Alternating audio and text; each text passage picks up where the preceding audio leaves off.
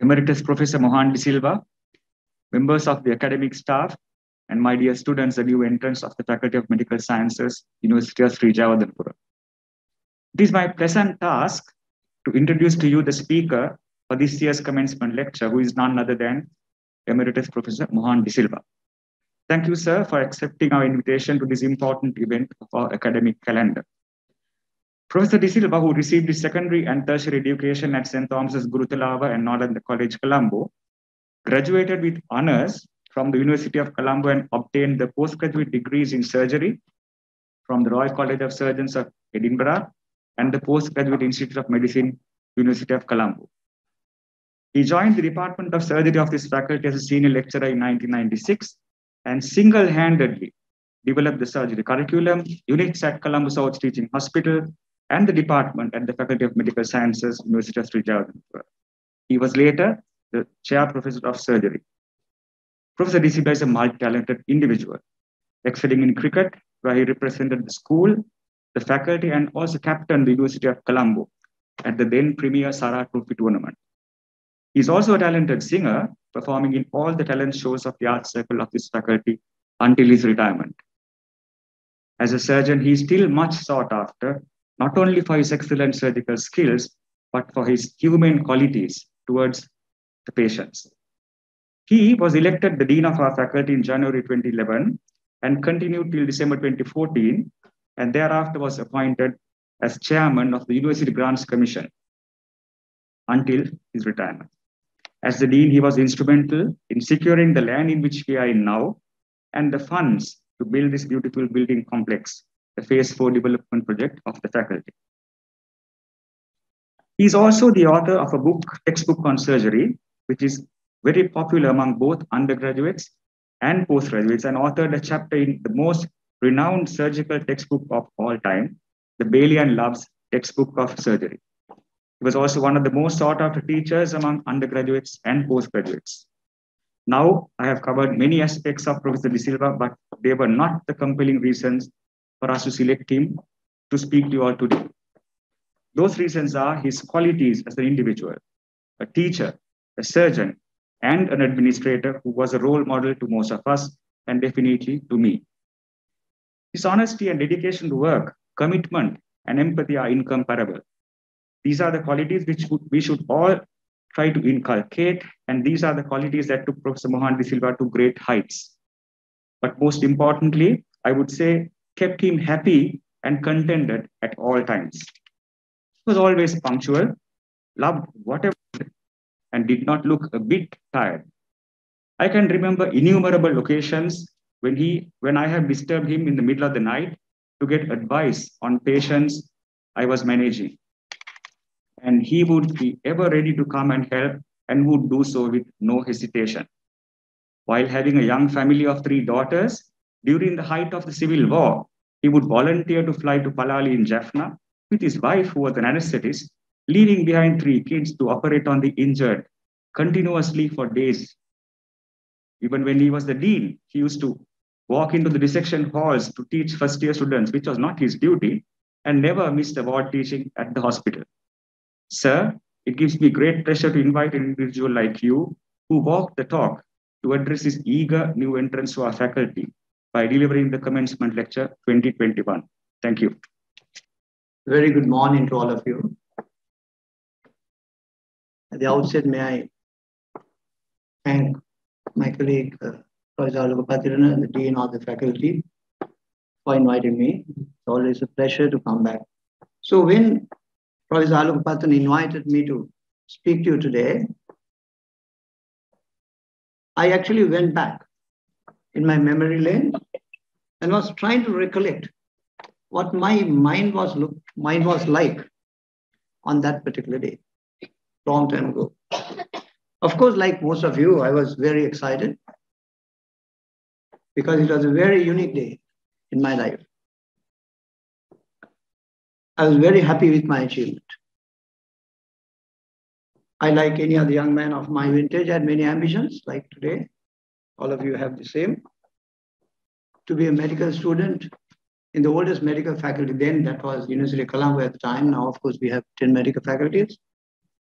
To be a surgeon That was my ambition from my GC O level times up to this day. It was a long and tedious journey. Was it worth it? Of course it was. Why do I say that? it is not only because I learned, I became wealthy enough to live a decent life and successful in the eyes of my parents.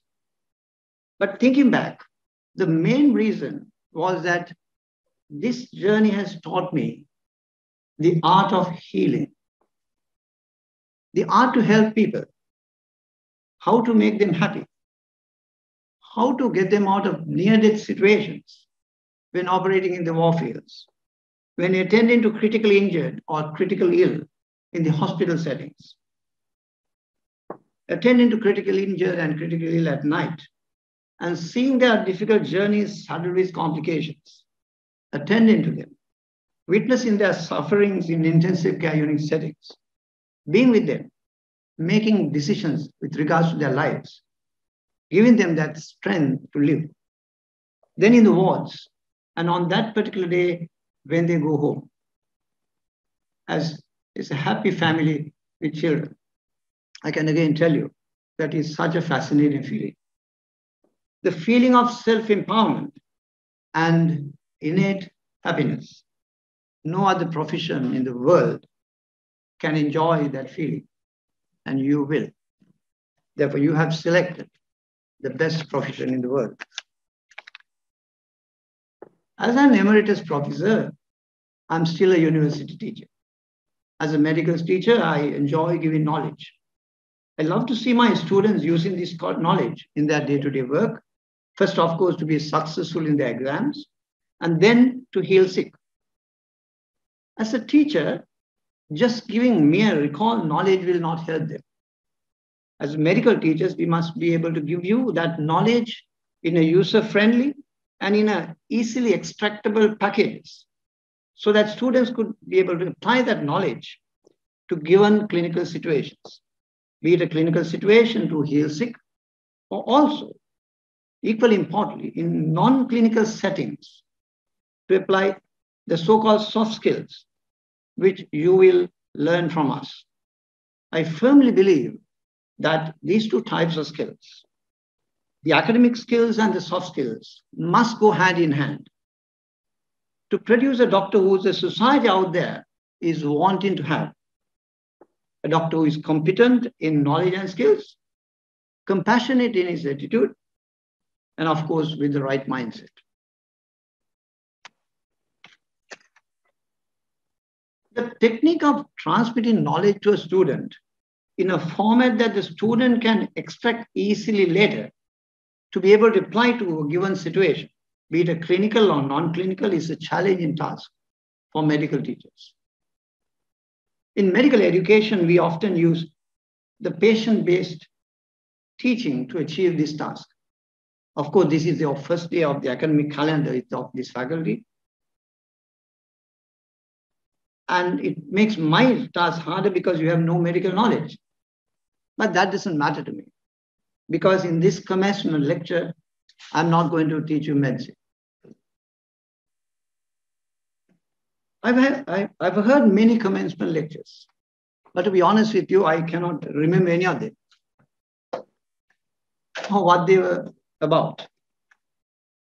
So I thought to myself, should I give you these young and intelligent minds a kind of take home message which may be useful to mold your career. So I shall now commence. And this is what I am going to tell you. I'm going to tell you a story. Well, it's a moving story A story of a real patient. But the main character of the story, the patient, is also a surgeon. He was a patient. His name is Dr. Richard Teo. He was a Singaporean surgeon. So this, in fact, is patient-based teaching. Before his death, on the 18th of October 19, uh, 2012, Dr. Teo was requested to deliver a lecture to passing out students at Dental Christian Fellowship meeting in Singapore. The Title of his speech was Thoughts of Life, Wealth, Success, and Happiness. I'll repeat the title again, it's very important. Title of his speech was Thoughts of Life, Wealth, Success, and Happiness. I see a story within the story to make you good doctors. Richard Teo has said that he too wishes to share these thoughts with all of us. So we can actually quote him. Before that, I will just introduce him to you. He was a classic model of an aspiring medical student like you. Very active personality, a remarkable all-rounder, excellent both in sports and studies, and a man with great leadership skills, and someone who was matured beyond his years. He was a millionaire, a cosmetic surgeon, and he was 40 years old when he died. Now I will read this deeply inspiring speech by a doctor looking right to the face of death, sharing his thoughts of life, wealth, success, and happiness. The message he gives is simple, very simple, but powerful. Now, I have to remind you right at the beginning that this is not my speech. This is a speech of Dr. Richard Teo. So don't forget that when I start reading what he has written. I quote Hi, good morning to all of you. I'm reading his speech. My voice is a bit hoarse, so please bear with me. I thought I'll just introduce myself. My name is Richard Teo. I'm a medical doctor. Since young, I was a typical product of today's society. Relatively successful product that society requires. I came from a below average family. I was told by people around me that happiness is about success and the success is about being wealthy. With this mindset, I was all, I've always been very competitive since I was young. Not only I need to go to the top medical school and the top school, I need to have success in all, all my fields. I needed to get trophies. I needed to have colors, awards, and everything. So I was highly competitive since young. I went to the medical school and graduated as a doctor. Some of you might know that within the medical faculty, of course, this was sometime here, some years ago, ophthalmology is one of the most highly sought after specialties. So I went after that as well because I've been told that that is a difficult one. I was given a traineeship in ophthalmology. I was also given a research scholarship by National University of Singapore to develop lasers to treat eye. So in this process, I got two patents, one for medical devices and another for lasers. And you know what? All these academic achievements did not bring me any wealth. So once I completed my bond with National University of the Ministry of Health Singapore, I decided that this is taking too long. This training in eye surgery is just taking too long. And there's lots of money to be made out there in the private sector. If you're aware, in the last few years, there is rising cosmetic surgery. Tons of money to be made there. So I decided, well, it is a time to leave. So I quit my training halfway and I went to set up my own aesthetic, that is a cosmetic surgery clinic in the town, together with a day surgery center. You know, the irony is that people do not make heroes out of average doctors. They make heroes out of people who are rich and famous. People who are not happy to pay $20 to see a general practitioner The same person have no problem in paying tens and thousands of dollars for liposuction, that is to remove fat from your tummy to make you look nice, or $15,000 for a breast augmentation, you know, breast reconstruction, we call it, and so on and so forth. So why do you want to become a general practitioner? Become a cosmetic surgeon. So instead of healing the sick and ill, I decided I will become a glorified beautician. So business was good. In fact, very good. Started off with a patient waiting list of one week.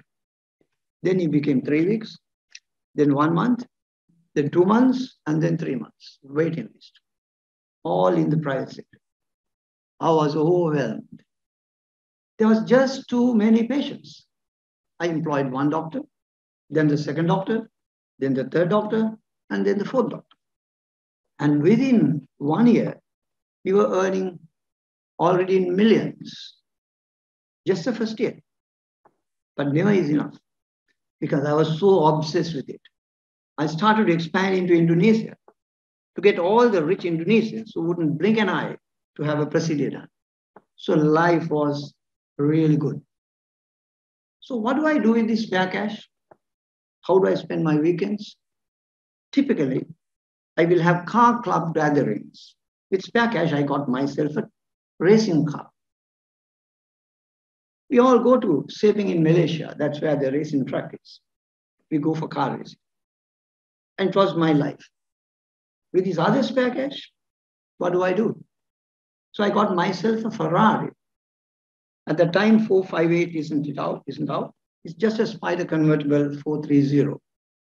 There was this friend of mine, a schoolmate, who became a trader and a rich banker. So he got a red one and I got a silver.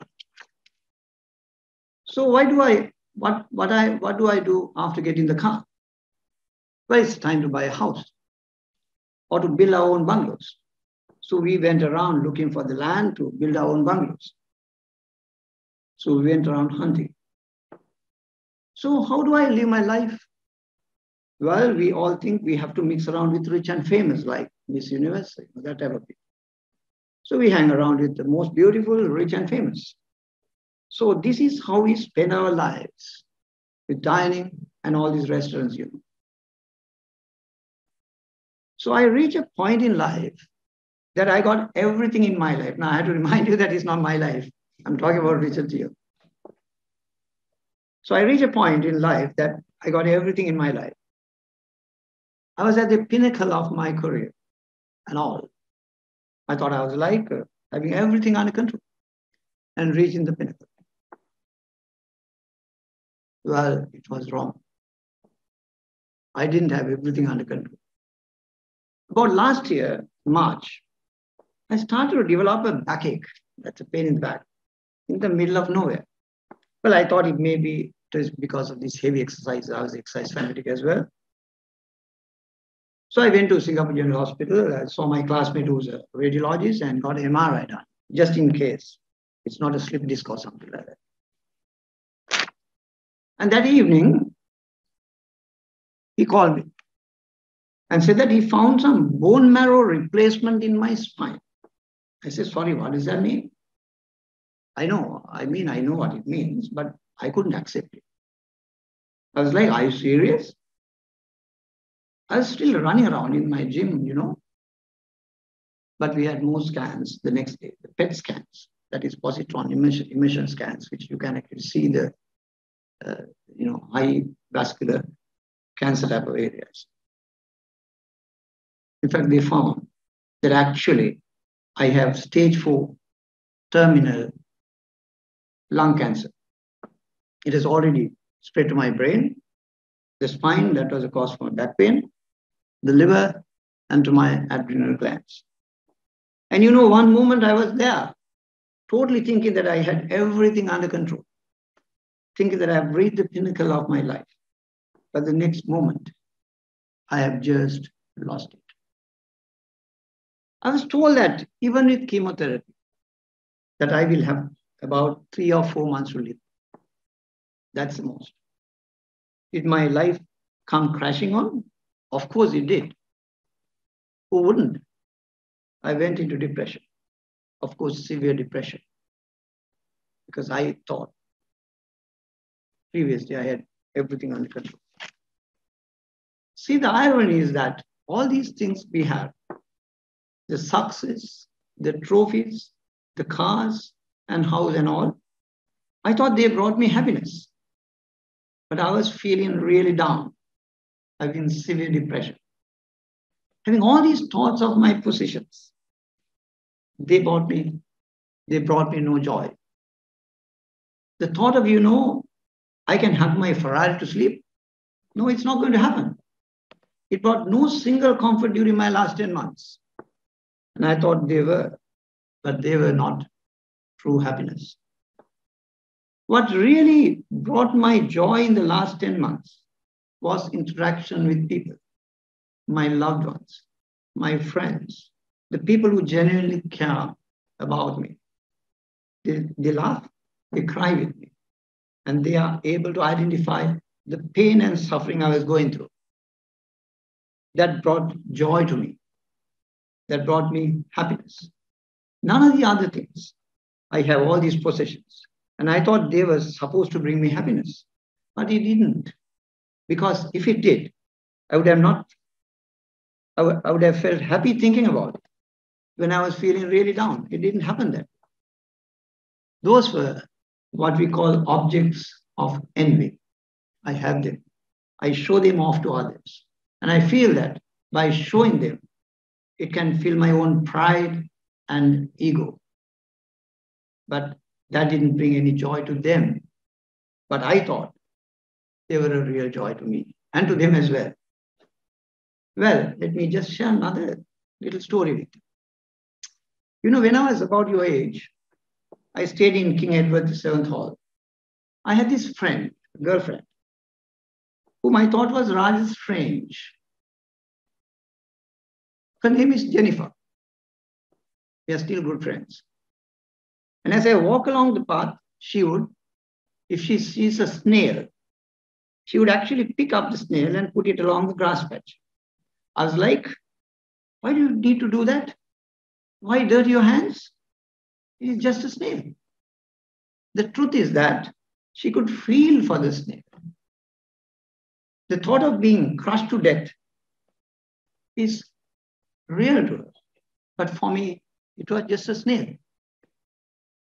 There I was being trained as a doctor to be compassionate, to be able to empathize, but I couldn't.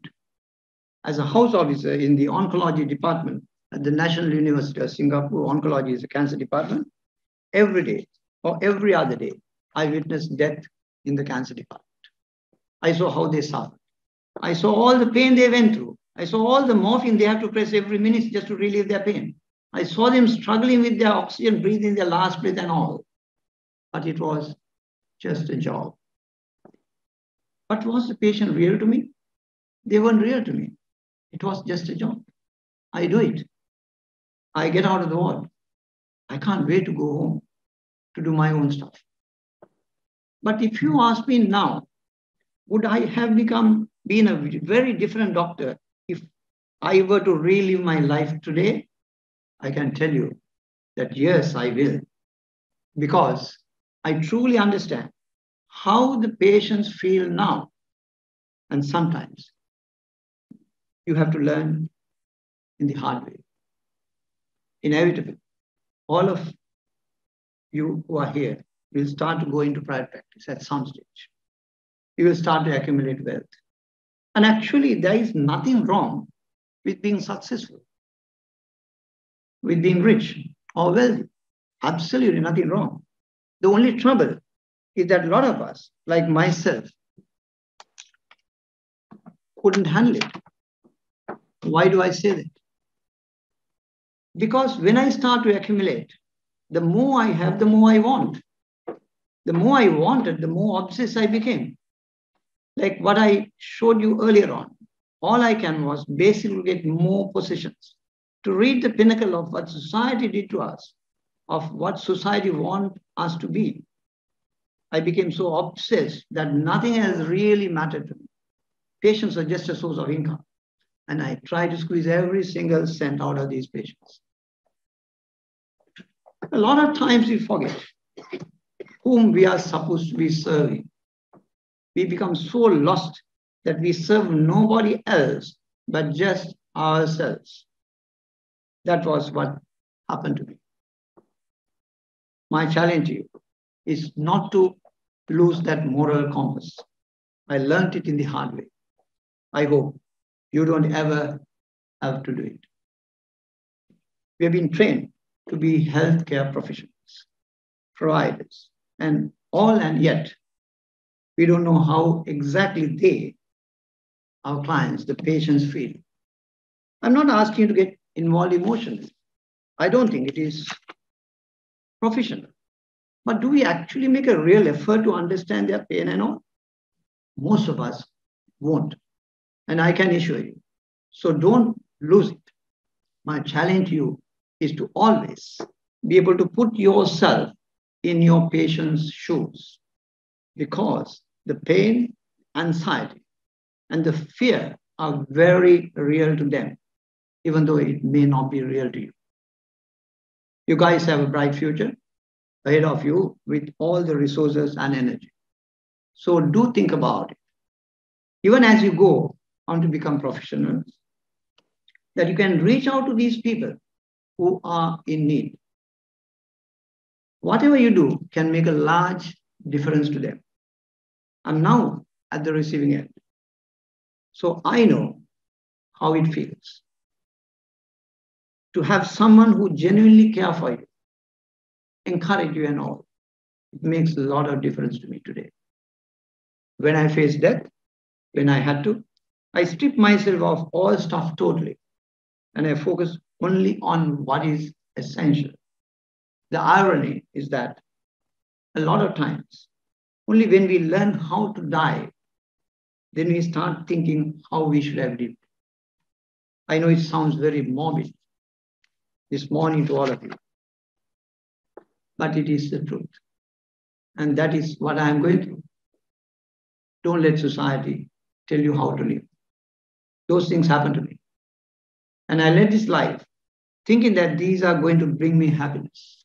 I hope that you will think about it and decide for yourself how you want to live your own life. Because true happiness doesn't come from serving yourself. I thought it was, but it didn't turn out to be that way. I unquote. That is the story of Richard Teo.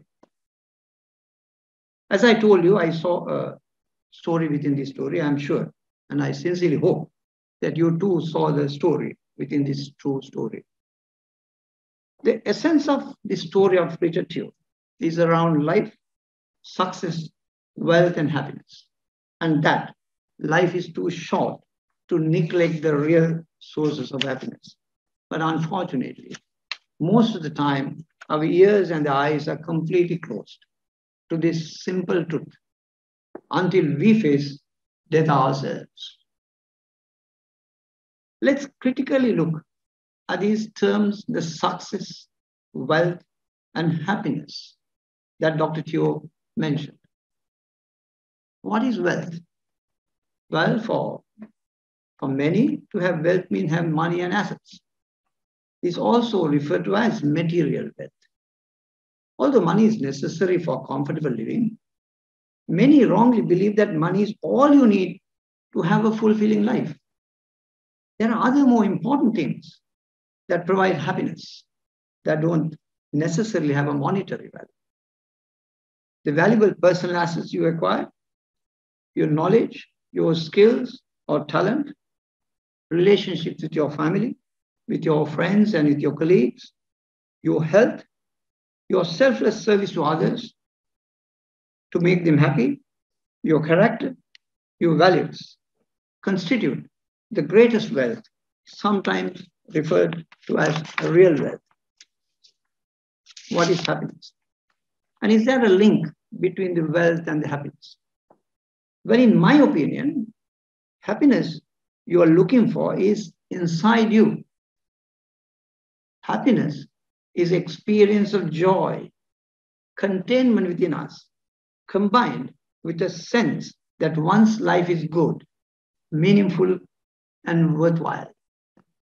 Among the vital ingredients of happy life are our unique skills and our abilities to enrich our lives and benefit lives of others, developing and maintaining a quality social relationships, positive thinking, compassion, but most importantly, caring for others as a medical person. There is no direct link between wealth and happiness. There is only a perceived connection. You perceive, but there is no direct link. So, what is success? Success is not a destination, but a journey of milestones and achievements. It never ends. The doing is more important than the outcomes. It is about what you learn along the way. And one needs more than ambitions and talents to make success of anything. There must also be passion and conviction of whatever you do. Success and the happiness are inextricably, inextricably linked. Happiness can create success, but success is not the key to happiness. At this stage of your lives, you all have brilliant and unspoiled minds. And you are entering this profession today and about to begin an incredible journey that will not only change your life, but the lives of thousands and millions of others. You will use the rich array of activities and the opportunities provided by the Faculty of Medical Sciences of our university to learn, grow, and embrace a balance between the academic and professional excellence and pursuit of diverse cultural and social activities. I'm certain that you will leave here armed with knowledge, skills, but most importantly, set of good values as a good doctor, and with a level of professionalism and commitment to make a difference in yourself and to others. And I sincerely hope that one day, in years to come, you shall be able to return to the same hall here and tell your students that you have lived as a medical professional with a clear conscience. I again most sincerely thank my colleague, your respected Dean Professor, Dean Professor Alupapatirna, and all my colleagues present here in the faculty for giving me this unique opportunity to take one class in my own faculty. I also sincerely wish that all, all of you will find real happiness, understand the beauty of self-empowerment, and will have the strength and courage to reach the pinnacle in your chosen fields of interest. Thank you.